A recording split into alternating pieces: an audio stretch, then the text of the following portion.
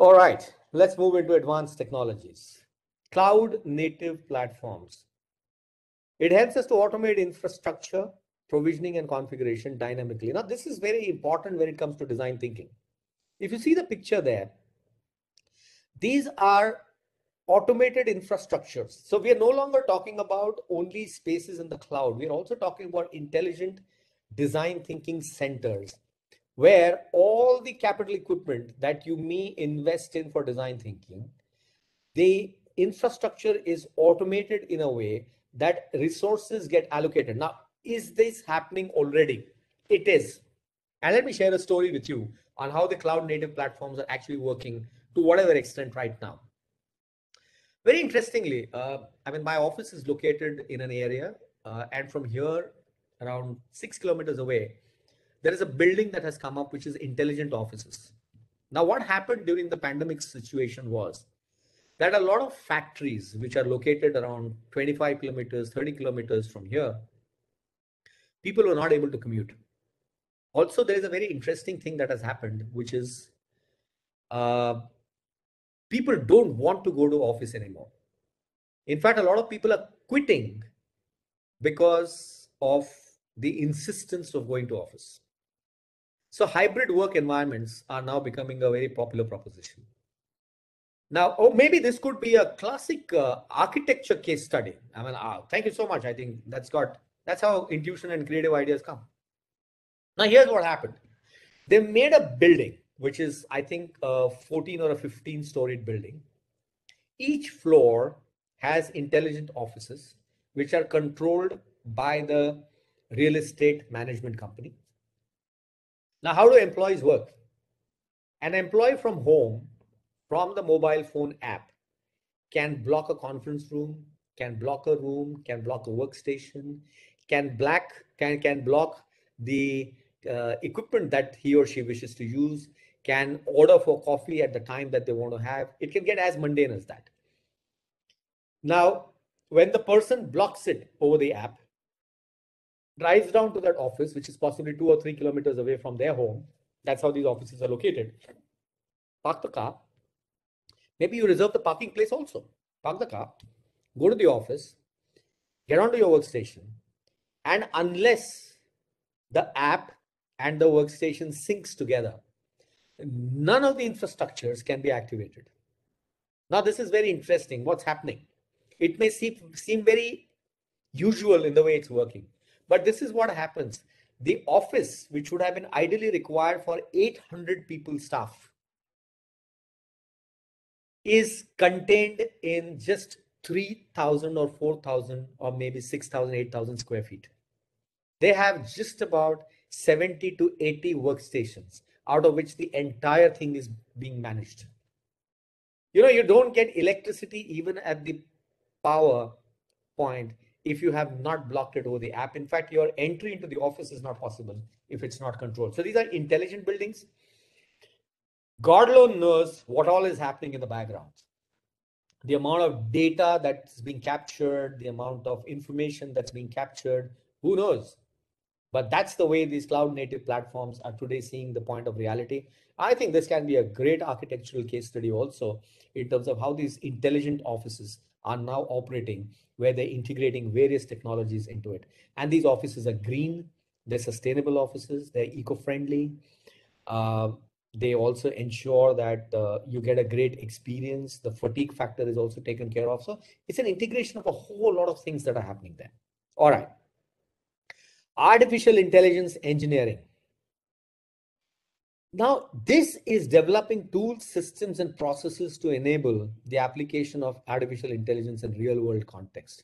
We're going to have a lot of artificial intelligence engineers who will work on creation of systems which are enabled through architecture, through the systems driven uh, processes, engineers who are dealing with technology, all that is extremely important.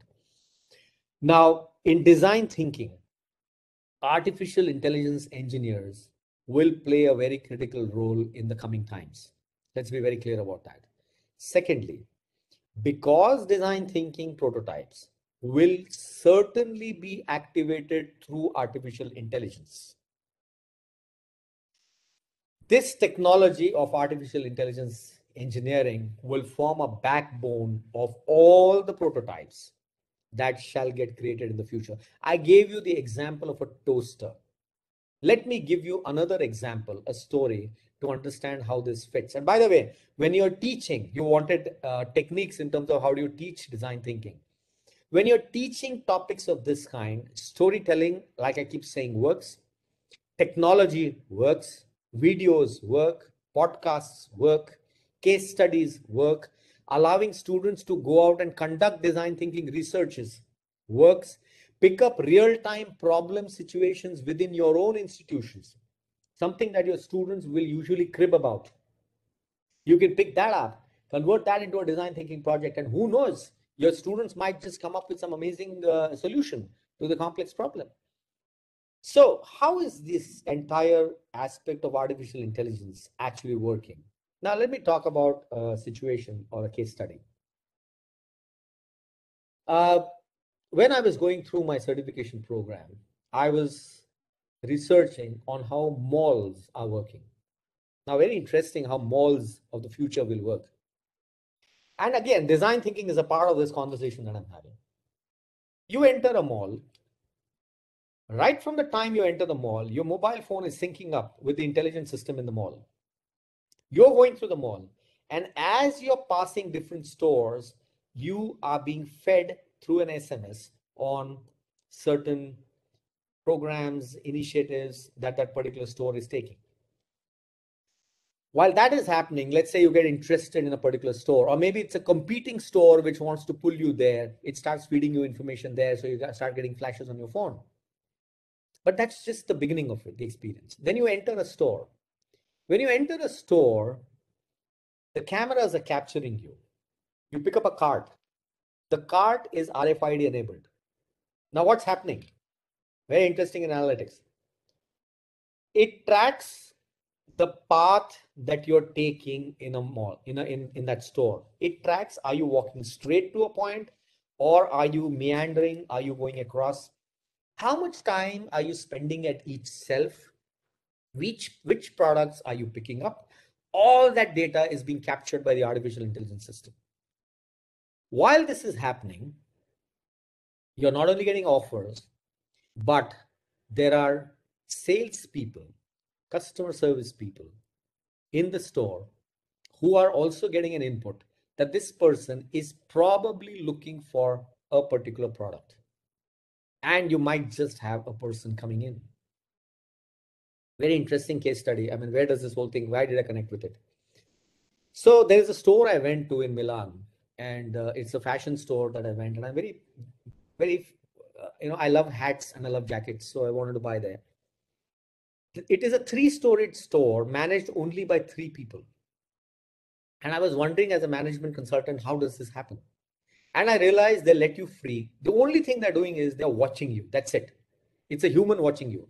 And the moment they see that you've shortlisted a couple of things, suddenly they will come there and the deal will happen. Now imagine this human being who's watching. If there is an artificial system that's watching this whole thing and it raises an alert to the customer service agent that this is a client who's looking for this, go and deal with it. Look how it works. High-end cars today are creating a complete showroom experience on our mobile devices, so much so that we can customize our cars. And this whole artificial intelligence engineering is actually happening for sure. But beyond that, let's talk about generative intelligence. It is something that is useful for academicians like you and me. Look at what is what I have written there. Generative AI refers to programs that can use existing content like text, audio files, videos, or images to create new plausible content. Now understand what's going to happen. You and me are going to create content all this content is now going to be picked up by intelligent systems. They're going to mix and merge and they're going to create new content which is relevant for the days. Imagine the student fraternity will benefit so much in terms of the way the content arrives in front of them. Now, it's not only about videos and audios coming in front of them, but we're actually going ahead and they're picking up bytes and they're mixing and matching those bytes and the content is getting created. Again, very interesting. when we do design thinking of a prototype, there's a complete ecosystem that has to be built. Let's say there's a product that has been created. And if that particular product is an outcome of a design thinking project, for any product to sell, and engineers create product, management guys not only create product, but they also ensure that the product does well in the market. For any product to succeed, it requires a very strong enabled ecosystem. What is an ecosystem? Community, maybe digital devices, digital equipment, digital services. It could be the overall experiences that you create, the entire supply chain, the retail stores. And that's why we're going to be talking about business value chains and supply chains, the advertising agencies, everybody, your, your digital nomads, uh, your professionals who are working with you, all that put together. Now, what happens here is very simple. Your design thinking prototype with all the content that's readily available, you can have systems that will create the entire ecosystem, the content ecosystem.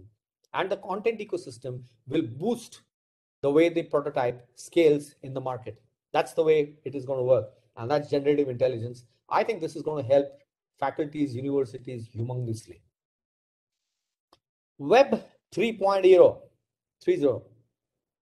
Like I said, these are intelligent websites, highly intelligent websites third generation of internet services and websites. And they will use machine-based understanding of data to provide data-driven semantic web. Now, what is a semantic web? It's basically a standard that's being used in the web today, which is the intelligence standard. So the website is intelligent. It is throwing up all that you need. So you no longer need to only surf through the pages. As you put in what you need, it starts throwing up the relevant content in front of you. It'll also mix and match and it's learning what you want. So next time when you're there, it's already got you what you want. Now, to a large extent, this is already happening on the different uh, sites that you visit. They keep a record of what you've done. And therefore, they start throwing up a lot of information that you would otherwise want. Even Google does that very efficiently. So Web 3.0 is the next thing. How is design thinking going to help here? Well, a lot of your engineers who are going to be passing out, they may want to do design thinking projects around Web 3.0 because ultimately it is a user experience and there's a lot of work happening in the area of design thinking in the user experience for sure. Quantum computing. Uh, my case paper does talk about quantum computing also. Uh, here the computers are using qubits, uh, which can be one or zero simultaneously. That means the combinations are infinite in their own way. It increases the power. Now, how is this going to help in design thinking? Let's say our students whom we train, whom we coach, become decide to take up design thinking as a specialization career. For instance, I am seriously looking at a career.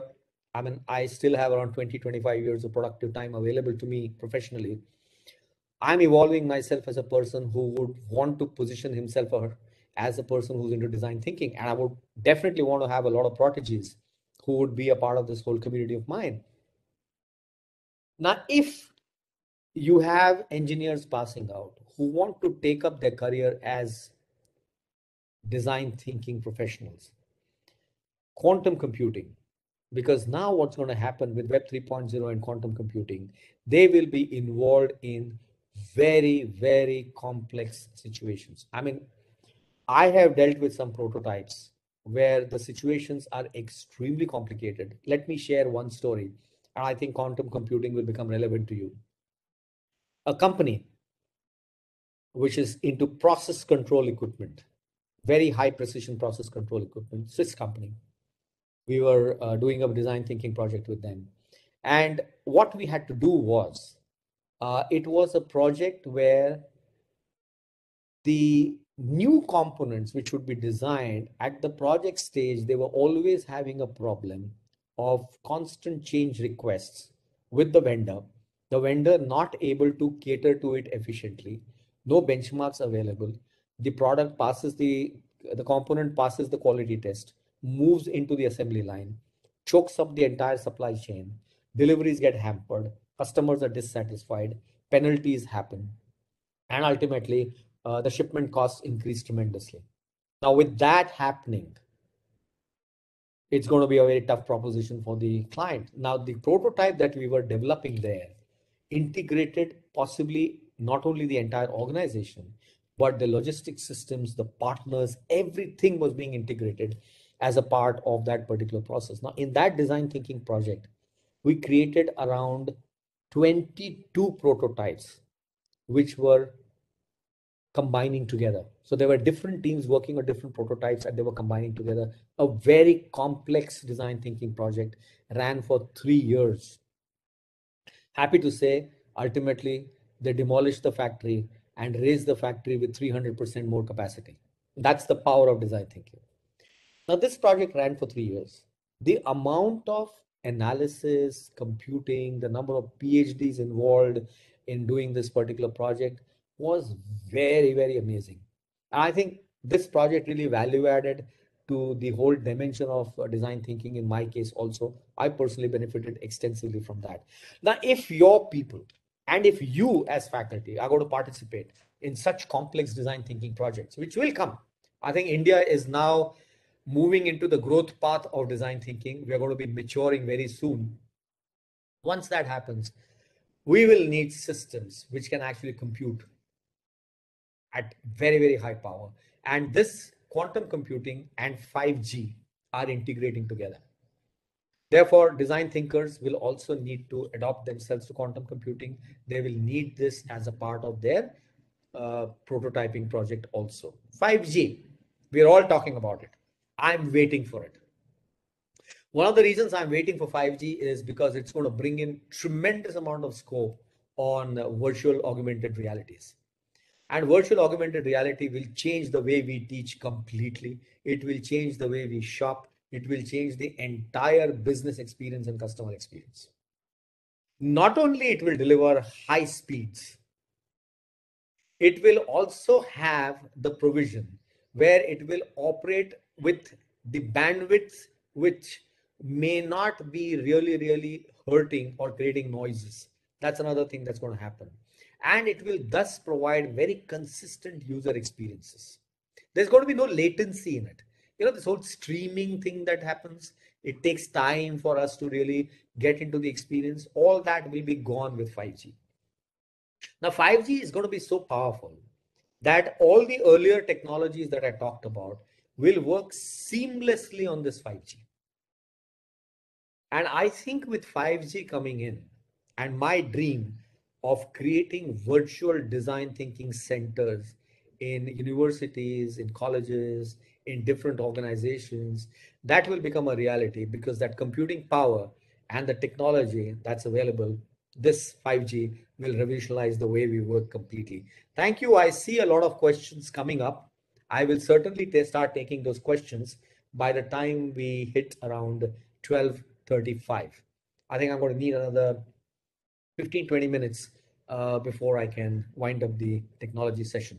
So 5G, going to revolutionize design thinking completely, augmented reality and prototyping going together completely.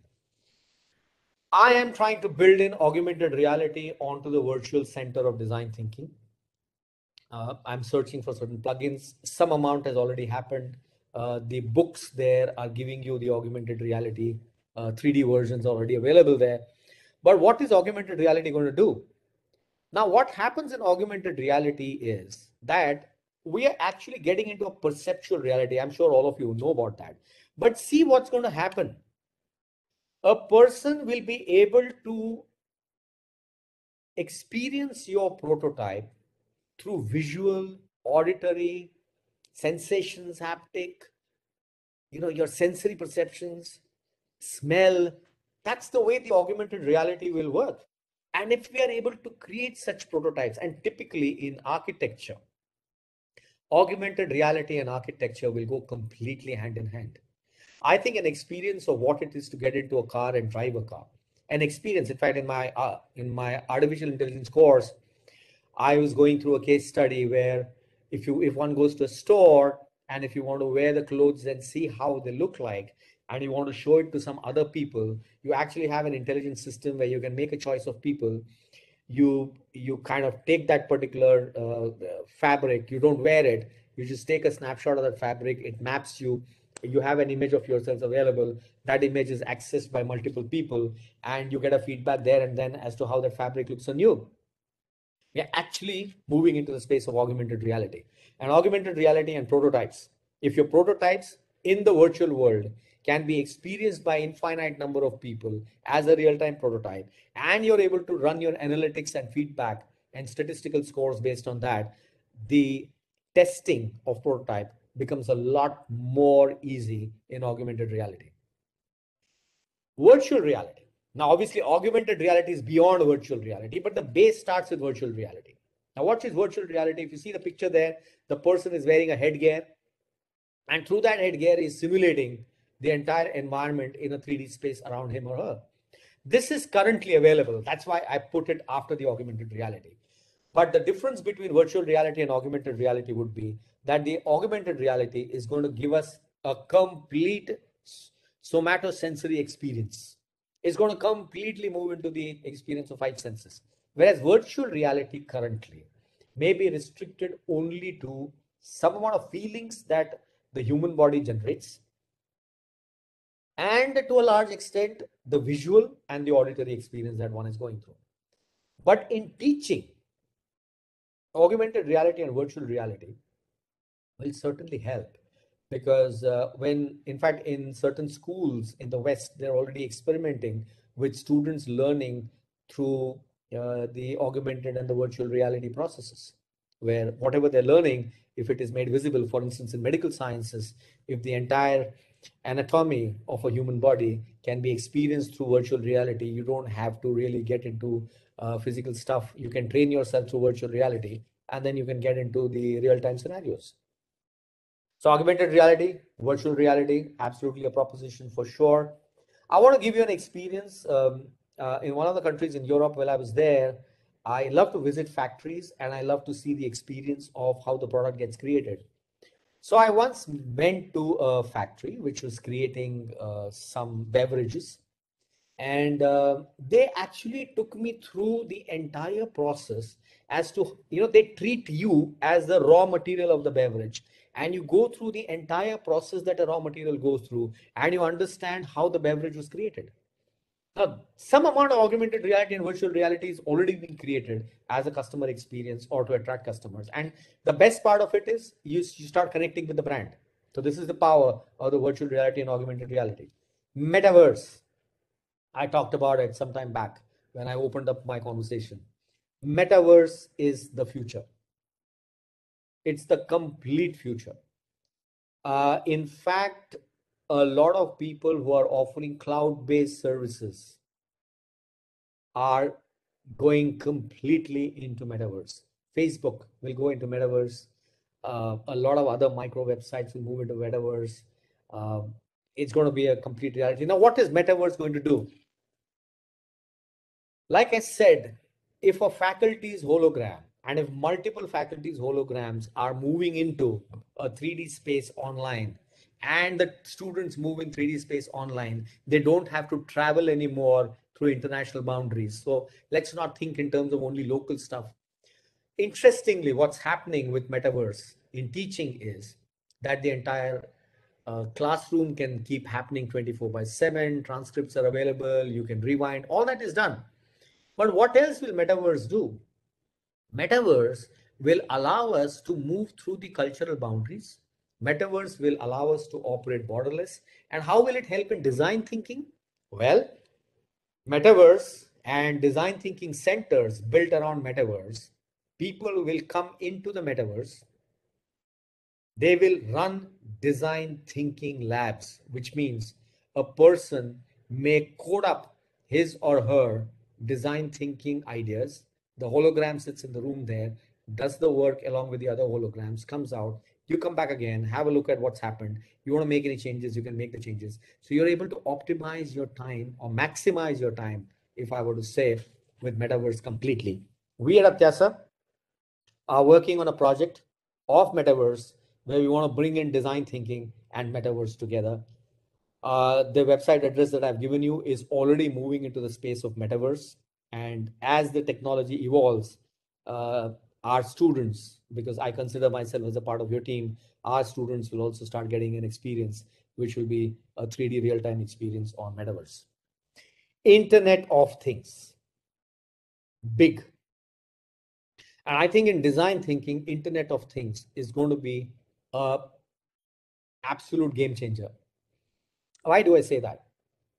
I say that because let's say if the prototype that has been created and it is being given for testing, let's say we went through the entire process of design thinking, we created a prototype, and now the prototype is enabled through IoT. Now, if the prototype is enabled through IoT, and if people are taking that experience of the prototype, maybe a physical prototype, or I don't know, maybe IoT will also move into metaverse, the day that happens. If that were to happen, the analytics is running super speed. If the analytics is running super speed, we will be able to come up with a very high probability on whether that particular design thinking problem, the solution that has been come up with, will it succeed, will it not succeed? So IoT, and I think in product design, I mean design thinking with for product design, engineering product designs, IoT enabled design thinking prototypes is definitely there. And I think your students need to pick up projects around enablement of IoT in design thinking. Big data analytics, big thing now. In fact, a lot of students are going overseas to do their masters in the areas of big data analytics. Big data is going to give us structured, semi-structured, unstructured data, completely making it possible for us to go through the entire design thinking stages with whatever data we need completely the way we want it or the way we don't want it. And if we want to work on it, we will get all sorts of data. And I think the terabytes to zettabytes of data that we're talking about on big data is going to ensure that the analytics that we run on design thinking can be fabulous. We are no longer restricted by the sample size that we humanly can possibly interview. We've got the entire data available. And the earlier conversations that I had in terms of how our systems are constantly feeding up to the intelligent systems in the cloud big data is definitely integrating into design thinking. 3D printing, I love the concept. 3D printing is going to redefine the entire manufacturing process. 3D printing will redefine the entire civil engineering, mechanical engineering, electronics, architecture, everywhere. Uh, look at the picture. The heart is being printed with a 3D printer. Maybe sci-fi right now, but I know liver is already printed. If the liver is already printed, that means we are on our way now. And like I said, 3D printing will make manufacturing process of any particular engineering stream simplified. Now, you know, when I was doing my certification on 3D printing, I realized that on the cloud, there are going to be so many designs available. You can pick up a design, you can make modifications by yourself in the design, and you can print it at home or it can be printed on a shop floor. Now, if that's going to happen, if that's the power of 3D printing we're looking at, prototyping will become so easy. What is happening now? People will create a prototype in a design center, which is virtual. There will be a drawing that's available in a virtual space. That drawing will feed to the 3D printing, and you've got the prototype ready. And the clay model that earlier design thing, design eh, industrial design guys used to use. Now you have a 3D printed model and people can actually test the whole thing. And therefore, you know, when we're talking about prototype, normally this whole process of alpha, beta, pre-production prototype, and then ultimately the finished product that comes out, I think the pre-production part will be completely eliminated with the 3D printing because we no longer need to feed a prototype to our partners so that they can create their own manufacturing process the 3D prototype will get printed from the printer and we got a prototype time to bring the prototype out completely crunched. This is the power of 3D printing. Blockchains. I love it. I mean, I don't want to get into the the idea of cryptocurrency. I'm not a party to that at all. But blockchains, uh, I mean, the amount of distributed data which is democratized data. everybody having access to every data on the blockchain and design thinkers now getting access to the entire transaction distributed across the entire network on the blockchain, I think it's going to redefine the entire aspect of design thinking completely. I'm looking forward to blockchain evolving. Blockchain, data for design thinking, right from the empathize process to prototyping, uh, systems which are archiving the prior data so that we can get intelligent insights out of it. I think blockchains is definitely, definitely the in thing that we're looking at. Uh, so it is also going to make people difficult to change, hack, or cheat the system. So again, it is going to protect our intellectual properties for sure. Why did we do this session? I think the principal message that we need to give our students is design thinking is future. Enabling with technology will permit the scaling up of the technology completely. And I think that's the advantage that we are looking at with technology.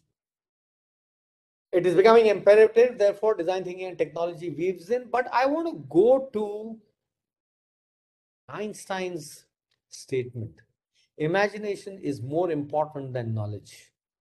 And I think technology is going to allow our imaginations to really come into a tangible form, which otherwise was going to be extremely difficult.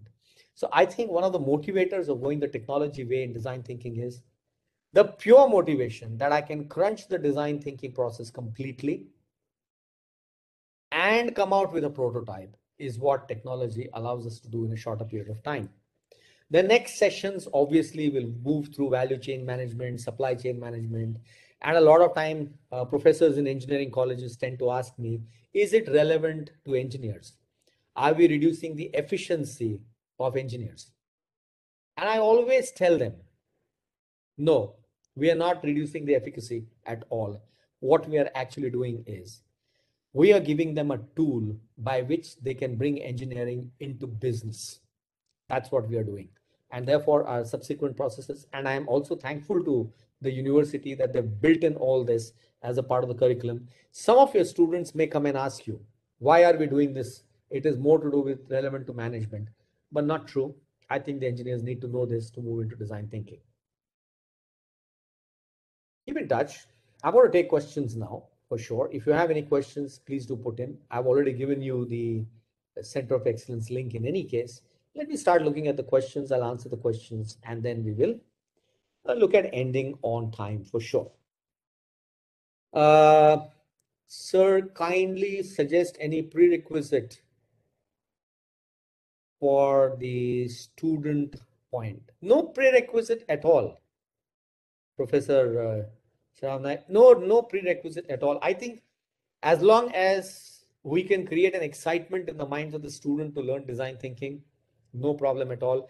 Do not measure or weigh. And yesterday, like we talked about the Rosenthal effect, if we are able to clean up our own system and say, now design thinking is beneficial for students and it'll help, I think students are okay. Do we have any textbook for design thinking concept? Yeah, uh, I think somebody's already uh, given the details of the uh, book. Thank you very much. There are textbooks that are prescribed for sure. As per VTU scheme, it is MCQ exam without prescribed book. Is it possible for a first year student to appear for the exam? Why not? There's a lot of digital content available. There's a lot of digital content that you can make and they can certainly appear for the exam. No problem. Uh, let's, let's look at it like this. Design thinking is an experiential process. And as they experience the process, if they move through the design thinking concept I don't think they're going to have a problem.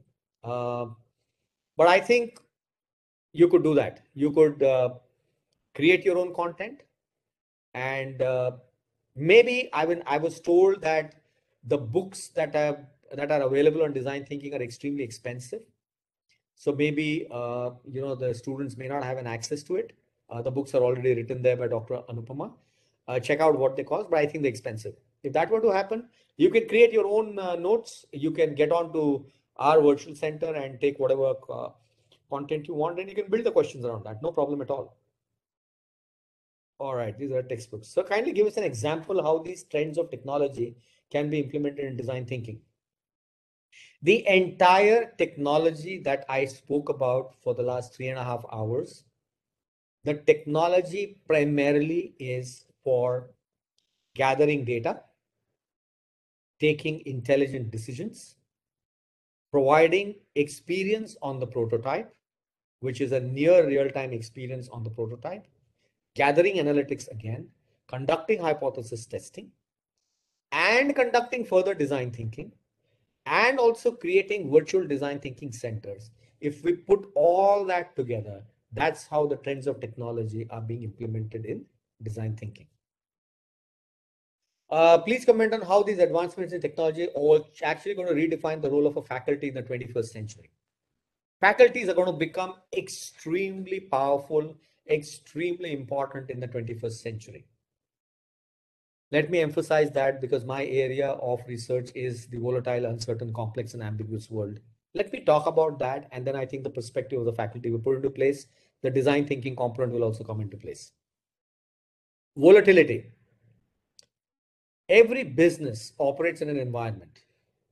The environment comprises of drivers, and these drivers either support or don't support the business when we talk about volatility, we say that these drivers, like in a periodic table, these drivers would evaporate. They would cease to exist. And if these drivers cease to exist, that means we will have to come up with newer ways of doing things. Uncertain. We don't know when will this evaporate. And if we don't know when this will evaporate, we got a problem. So one, it is volatile but we don't know when it is going to be volatile. That's one part. Second part, third part, complex. The behavior of these drivers itself is extremely complex. That means I can't predict how this particular driver, even if it is not in the space of volatility, it is existing, how is it going to behave?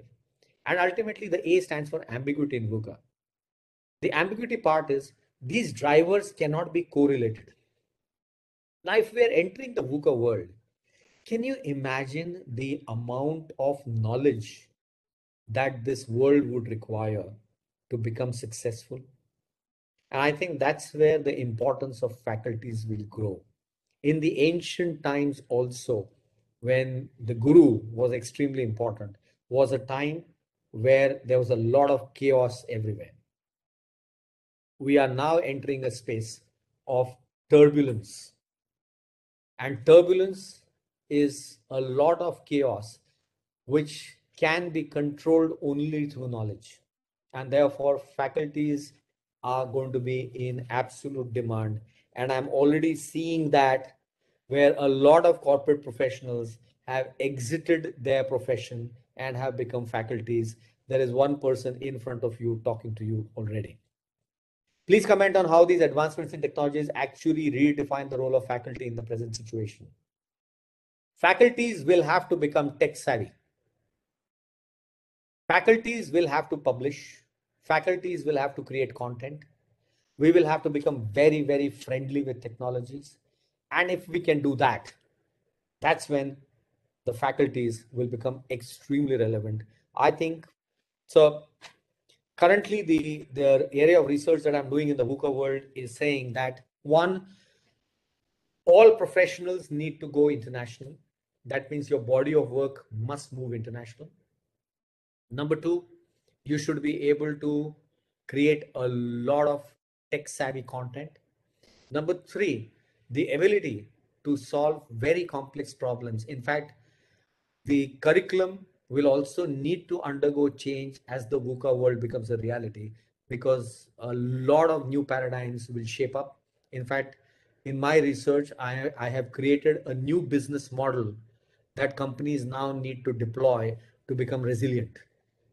The earlier dimensions and dynamics of management may not help companies to survive in a new VUCA world.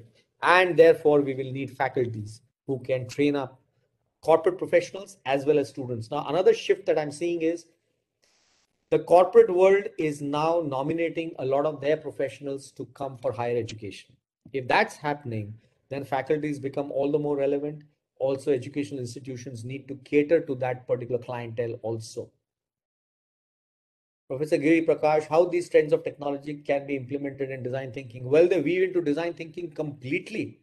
I think every part of the technology that I spoke about is weaving into technology completely. And if our design thinking prototypes do not integrate the future technologies, then it is not design thinking because we are creating things that are outdated. Big stores managed only by three people. What is your take on artificial intelligence replacing manpower? Manpower, which is good, will never be replaced. Don't worry at all. And like I keep saying in every session of mine in corporates, only the redundant manpower shall get replaced. Any standard operating procedure will be driven by technology, but creation of knowledge, creation of pure knowledge, creation of new knowledge, creativity, innovation, that will always be the human being. So as long as those human beings are adept with the new way of working, I don't think they should be happening this. Sir, how do we integrate this into a curriculum? Well, you have a presentation. Uh, my suggestion to you is just take it up as a theory process and just give an information and input to your students as to how the technology trend is happening. And uh, that should work, should not be a problem at all. All right, feedback link, feedback link, feedback link. Okay. Uh, module five for design thinking workshop. Okay, we'll wait. Design thinking workshop, empathize, design, idea, prototype. How do you, how you go about this? All right. Let me share how do I do my consulting business on design thinking because you will also interface with industry and you must know this. Firstly, charge. Don't do anything free because design thinking requires a lot of intellectual capability and intellect must be charged. That's one. Understand that your clients do not know what the problem is.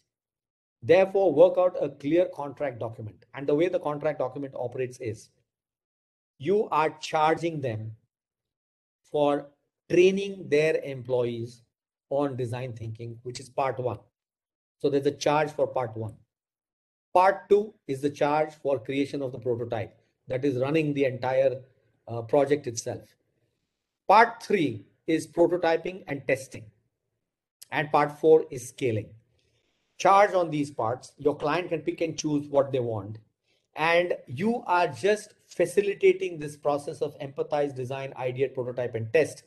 Pick up the best of the manpower from that particular industry, get them as a part of your workout process, and let them be the ones who take the accountability for creation of prototype. You are a teacher, you are a guru who's helping them to prototype. That's it. If you take the responsibility of prototyping, it goes contrary to design thinking principles because diversity of experience gets compromised. That's the way it works. You and me will operate as consultants in the design thinking process, but we will not participate in building a prototype. But we will give inputs on how the prototype is to be built. We'll give frameworks on building of the prototype. That's how it goes. So I think most of your colleges, as I see, are engineering colleges and management colleges put together. I think both of you can come together pick and choose the projects and uh, you know the industry experience for faculty also grows therefore that's how it would go uh, feedback form feedback form whether design thinking should be confined only to first year policy decision i leave it to you i do not want to really get into it that's between you and the university sir has design thinking been used for creative interventions in mental health healthcare yes mental health, in the techniques of building an ecosystem. Uh, yes, design thinking is being used extensively in that area. But if you're talking about the treatment or the line of treatment and design thinking being used for that, I don't think so. I don't think so at all. It is 1240. Uh, if there are any questions, I'm willing to take. Otherwise, the feedback link is there. You can get on to your feedbacks. And uh, I am not extending this further. It's 1240. We can end the session here. Thank you very much.